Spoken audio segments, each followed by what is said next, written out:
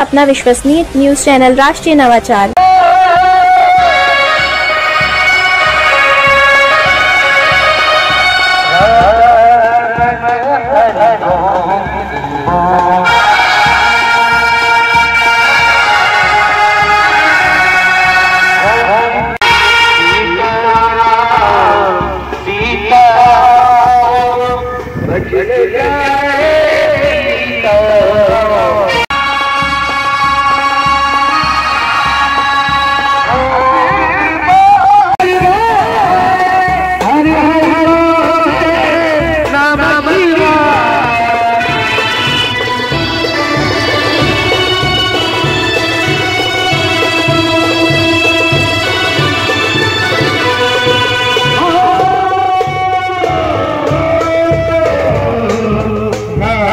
भाई भाई।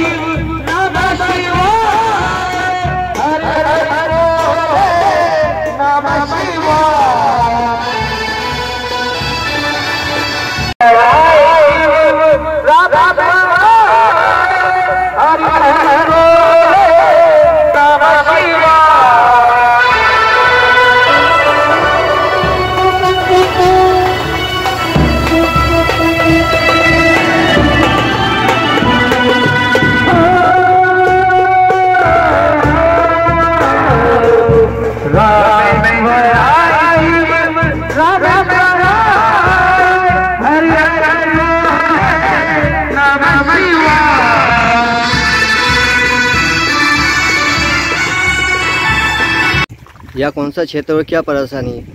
यह क्षेत्र सिया पंचायत के अंतर्गत आने वाला ग्राम दुर्गापुरा है जो कि विधानसभा क्षेत्र हाट पिपलिया के अंतर्गत आता है।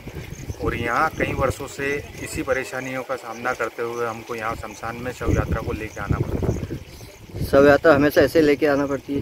हमारे देखते हुए बारिश के तो समय में ये स्थिति बनती है और ये तो अभी ठीक है जब नाला उफान पे रहता है तो गले गले तक पानी रहता है और जैसे तैसे मशक्कत करके हमेशा ये स्थिति कभी सीढ़ी लगानी पड़ती है कभी क्या है। पिछले साल भी ऐसे ही हुआ था 21 अगस्त के दिन की बात है हमारे गाँव में एक और मुरम डालने का बोला दस गाड़ी का तो डाली दो गाड़ी। और नाला उफान पे था और उनको सीढ़ी से पार किया गया था।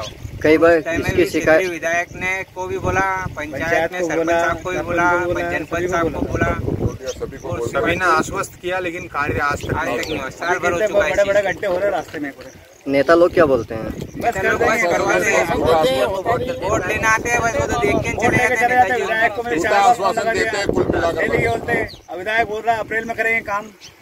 ये इसमें हो गया प्रधानमंत्री में हो गया इसमें सेंशन हो गया। हमको किसी योजना के अंतर्गत ये स्वीकृत हुआ आज तक पता ही नहीं चला इस बारे में। शमशान के वहाँ ये लिखा है कि रोड अभी दो दिन पहले मेरे पिताजी का देहांत हुआ उसमें करीब पंद्रह सौ हज़ार से पंद्रह सौ लोग आए थे। गिरते हुए, कीचड़ में गिरते हुए ऐसे रास्ते आपको दिखाएँगे, आगे इस तरह का रास्ता, उसको परेशानी का सामना करते हुए शमशान तक पहुँचे। और लोगों ने ये तक बोला कि क्या यार, आपके गाँव में क्या स्थिति है? ऐसे में शमशान लोग कैसे शव यात्रा को लेके आएँगे? कैसे किसी का दाह संस्कार होगा?